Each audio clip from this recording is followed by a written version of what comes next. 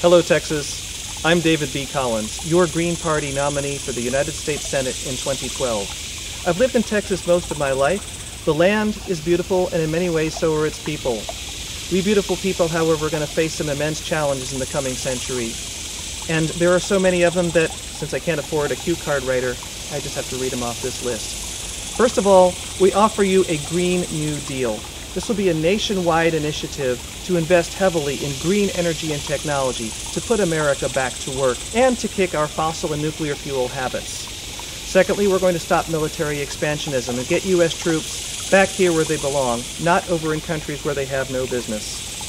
We're going to invest in our nation's infrastructure, repairing roads and bridges, making safe streets for bicyclists and pedestrians and other alternative modes of transportation in our cities. We're going to end the senseless war on drugs that has taken so many lives along the Texas Mexico border and end the wars on women and women's health.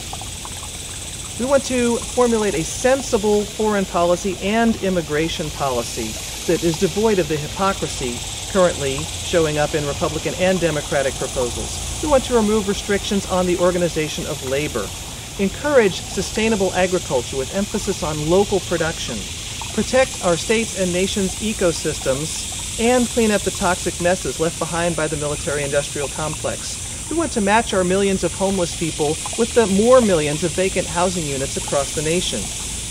We want to institute a nationwide mental health initiative. We've got a lot of recovering to do from the stresses of the 20th century as we head into the 21st. And we'll invest heavily in education. As our presidential nominee is fond of saying, for every dollar invested in education, we get seven back. Education, education, education. Let's get Texas and the nation back up where it belongs.